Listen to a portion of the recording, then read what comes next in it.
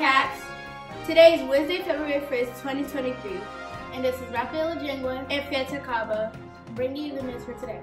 Also remember to click the subscribe button at the bottom of the video so you won't miss what's going on at Woodmore Elementary School.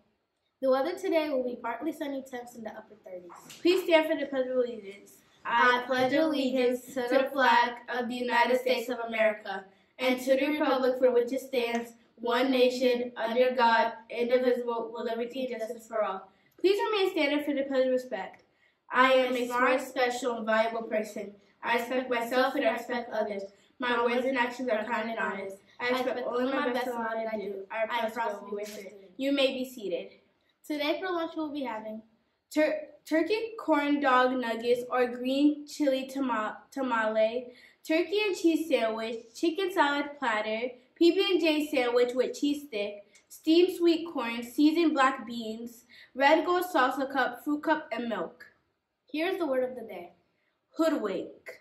Hoodwink means to deceive or trick someone. Coming up next is the Woodmore Elementary School Sports Update.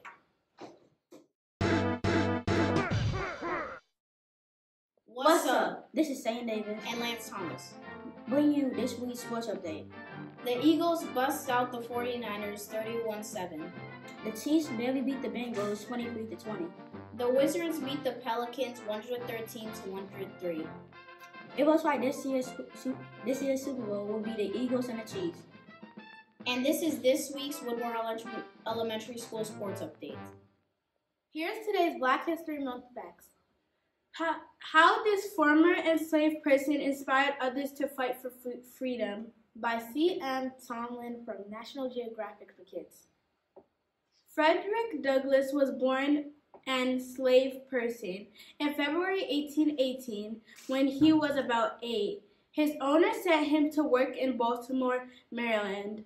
Although most people didn't want enslaved people to learn to read, the wife of the man Douglass worked for taught him anyway. When he was about 20, Douglass disguised himself as a sailor and escaped to New York, a free state without slavery. He continued to read as much as he could, which helped him become a great storyteller.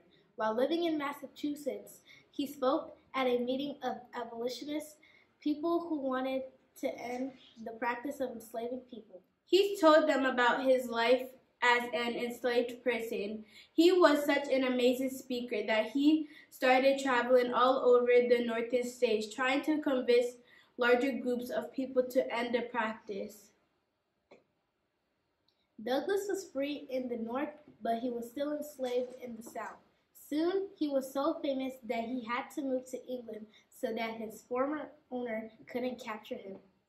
In 1847, Douglass's friends raised money to buy his freedom from his owner, and but, he returned to, to the United States. But no matter where he was, Douglass continued to give powerful speeches urging the end of enslaving people until he died on February 20th, 1895. His words, his words still inspire people today. The PTO is selling Valentine's candy grams. Each decorative gram includes a card and a candy bouquet. The cost is $5 for three different candy grams.